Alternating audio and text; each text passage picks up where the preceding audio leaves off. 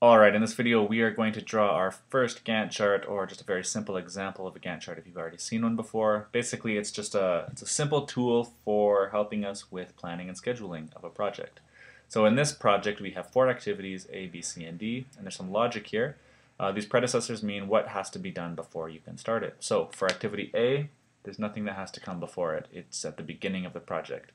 Uh, whereas activity B can't start until A is done. Uh, activity C can't start until activity B is done, and activity D can't start until activity C is done. Alright, and they each have some amount of duration here in days. So let's use a piece of graph paper here. Uh, it's going to make our lives a lot easier. Uh, and let's just, first things first, let's label our axes. Alright, so now we have our axes done.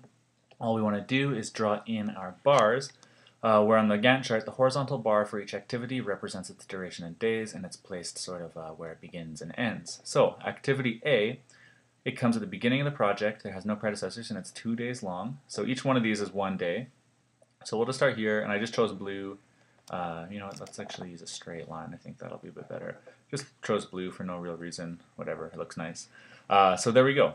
Activity A starts at the beginning, at zero, the beginning of the first day, whereas this would be the end of the first day uh, and its duration is two days, so one, two. Perfect. Okay, so activity B, it has to start after activity A is done, so it can't start until the end of the second day, and it's three days long. So you find the end of the the one that comes its predecessor, A, uh, which is right here, and then you go one, two, three days out.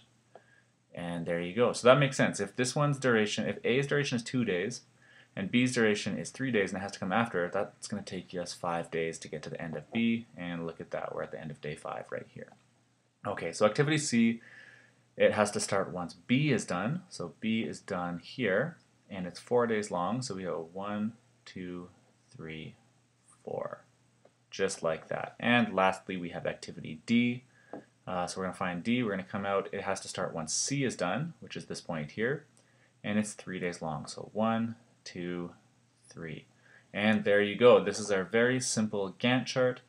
Uh, hope that helps you get the idea of what they are. And in the next example, we're going to do a slightly more difficult Gantt chart.